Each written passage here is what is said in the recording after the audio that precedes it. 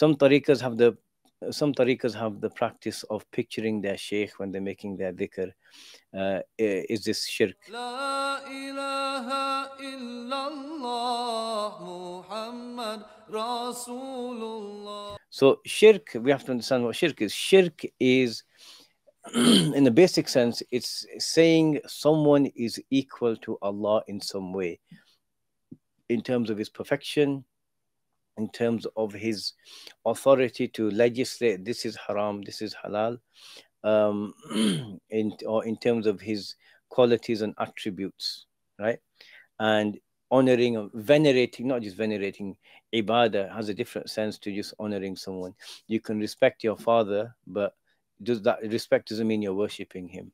So technically, if so, um, um, if a tariqah has an approach where you picture your sheikh um, to make dhikr. Is this shirk? No, it's not shirk. Is this something that is, um, let's just say, is it something that's part of the sunnah of the Prophet? No, right? Absolutely not. Is it an approach that some sheikhs have adopted? Possibly. And they say, you know, I will be a connection to, you know, Allah.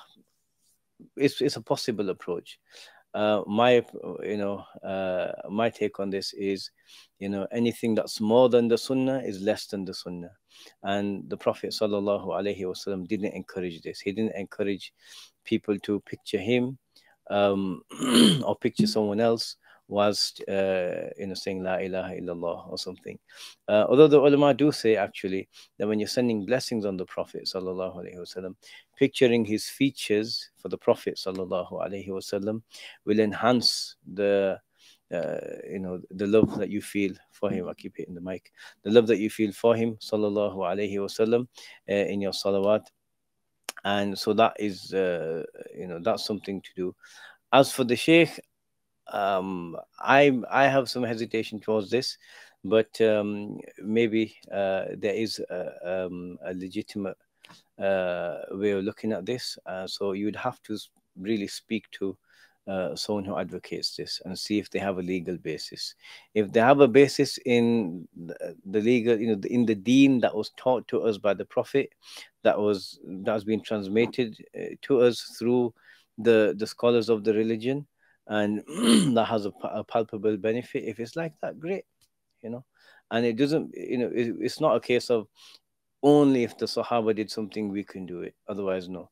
No the sharia is broader than that but if it's uh, if it's a case of a, a, a, scholar or a sheikh of a tariqah advocating this then you know speak to them. Um, it's not a case of you have to understand in these situations, you haven't sold your soul to anyone. إن الله اشترى من المؤمنين أموالهم وأنفسهم بأن لهم الجنة. Allah has purchased from the believers uh, um, their properties and their souls in exchange for them to have the garden. So you sold your soul to Allah, not to any any individual. So there should be no uh, you know no hesitancy in asking a religious question uh, you know, in order to find what's halal and haram in this. In fact, it's it's a healthy approach. It's a healthy approach, and if it if it can't be if it can't be explained in a way that has a basis in the Sharia, then just don't do it, right?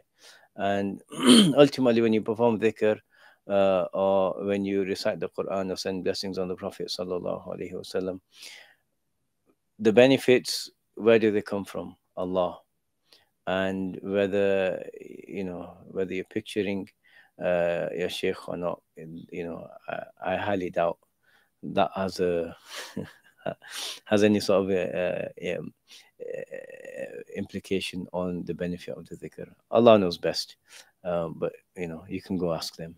لا إله إلا الله محمد رسول